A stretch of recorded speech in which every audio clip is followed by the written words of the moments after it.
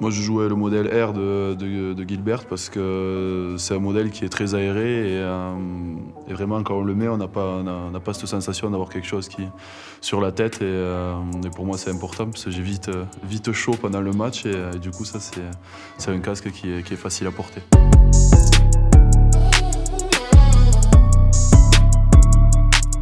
J'ai commencé le rugby sans casque, mais euh, quand mon frère jouait à, moins de 15 ans ou moins de 16 ans, il y a eu, il y a eu un petit accident euh, et, ma mère a pris peur.